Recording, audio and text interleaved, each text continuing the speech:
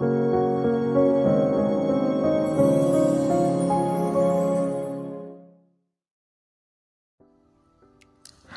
everyone. And welcome back to my youtube channel. So today i'm going to be taking you through how to cut a shirt and palazzo.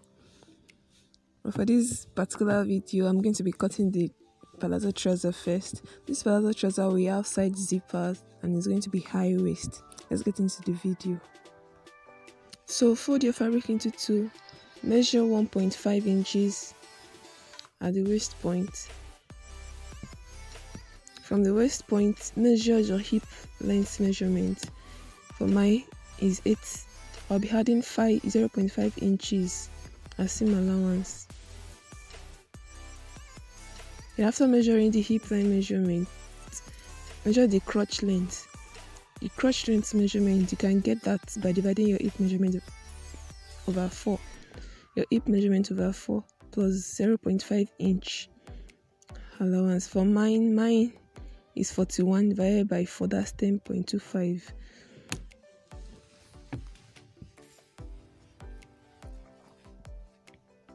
then transfer the measurement to the other side of the fabric so that it'll be very easy for you to draw a straight line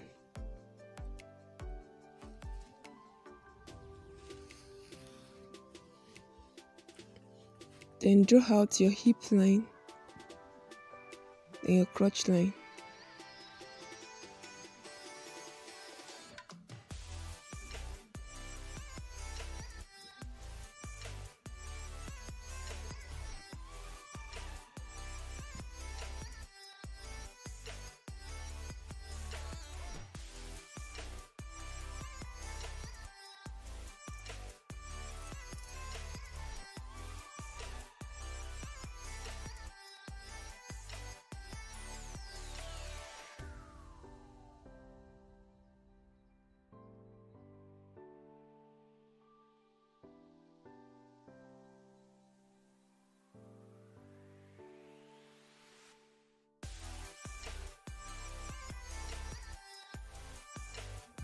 So measure your trouser length for mine.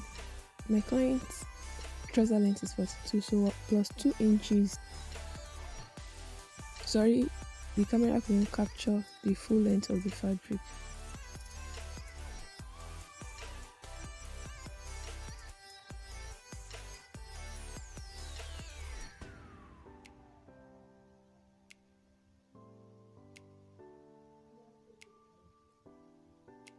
So you transfer the 1.5 inches, transfer it to the bottom of the trouser. Then from the waist, you create a bend to join the hip line.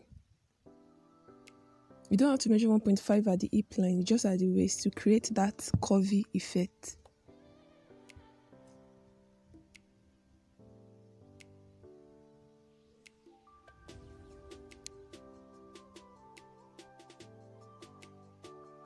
So you connect the hip line to the hem of the trouser, that is the bottom of the trouser.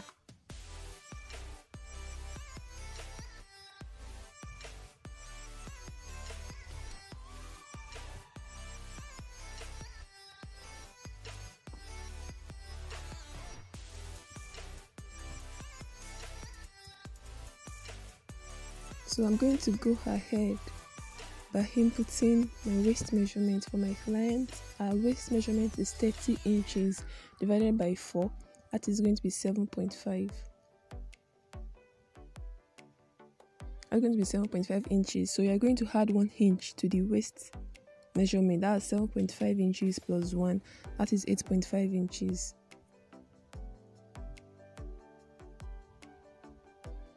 Seven point five plus one that's eight point five only the waist point. Then I'll measure my hip measurement for my client. Her hip is 41 divided by 4, that's 5. I won't be adding any other measurements or inches to this hip line measurement. So at my crotch line, you connect before that you connect the waist point to the hip point. So at my crotch line, that's where I'm going to input my thigh measurement. For my client, our thigh measurement is 24 without any allowance i'll input 12 inches then you connect the hip line to the crotch line. You create a curve. Then impute um, waist to knee measurement for my client and waist to knee measurement is 22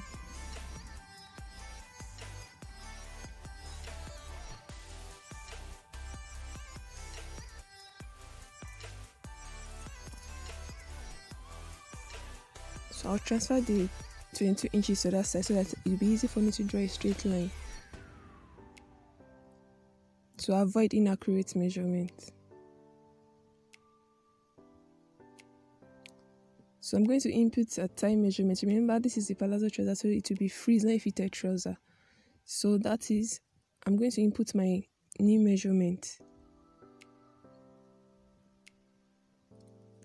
Note that this won't have any additional allowance.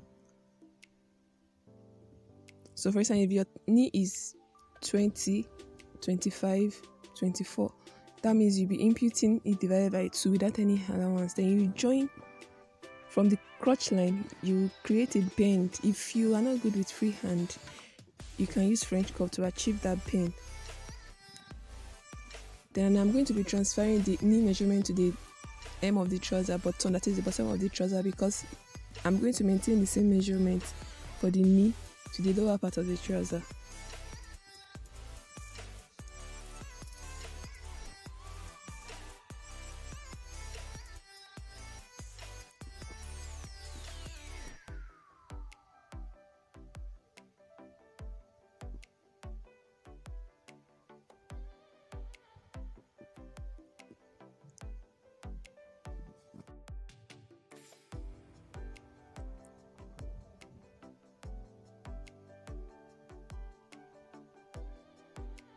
So connect the hem of the trouser to the knee point.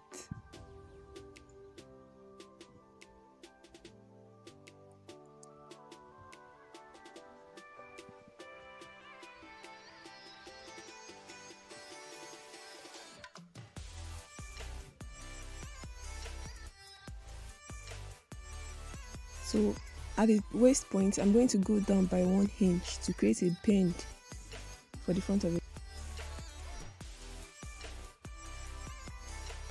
To create a bend.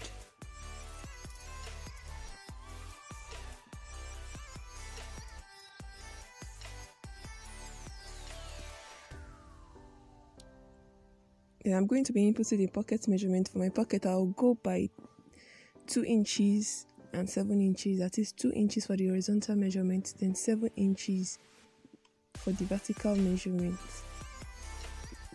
But note that you don't have to cut out the pockets now. For me personally, I don't cut out the pocket until I'm done measuring the front and back patterns. Then cut it out. Then for the for the back piece, the back pattern, you're going to place your front pattern on the back pattern.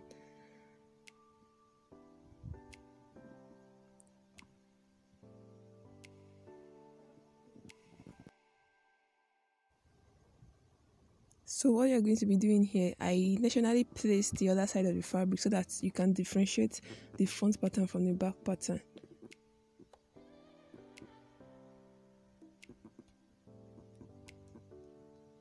So for the front being placed on the back pattern, so I'm going to be en- en- extending the crotch length by 2 inches. For the back pattern, I'm going to be in- increasing the crotch length by 2 inches. Then at the waist point on top, I'm going to increase it inches also. Then for the sides, for just the other side, for the right hand side, 1 inch. Same as the left hand side. You create a bend, then you measure 1 inch all through all through when you're one inch all through then you input your waist to knee measurement. Remember mine is 22 so at that point you extend that side by one inch then you connect it to the extended two inches crotch line. Then for the rest the bottom of the trouser you impute one inch. So for my band for the band it's going to be three inches it depends on what you want. You can decide to use two inches but mine is three inches. My band is going to be three inches high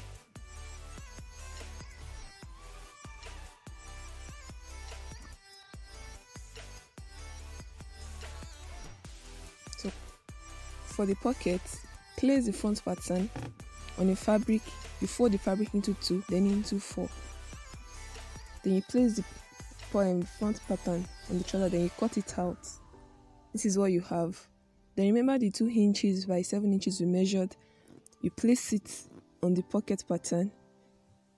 Then you cut it out with the front pattern. Remember just one side you're going to cut out just the side of the pocket just one side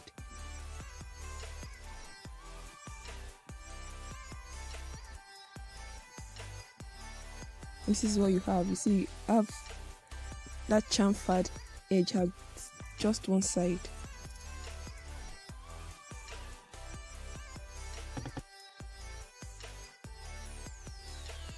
Thank you so much for staying to the end of this video. If you are new here, please kindly subscribe and click on that notification bell so as to receive new updates. Thank you so much. Please like this video, share and comment. Thank you so much. See you in the next video. Bye.